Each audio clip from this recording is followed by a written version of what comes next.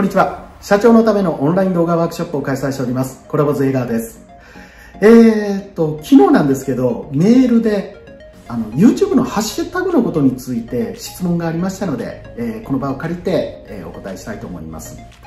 で、うん、正解っていうわけではないんですけど、ハッシュタグがなんか10個ぐらいあったんですね。YouTube の場合、説明欄の一番下のところにハッシュタグえ3つから5つの間が一番いいんじゃないかっていうふうなことも言われております。ということで私も3つから5つ、この間で、えー、入れております。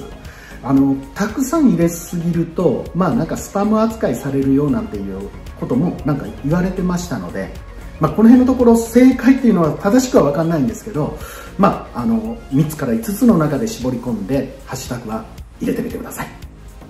ということで、本日の動画、すべて終わらせていただきます。レッツ動画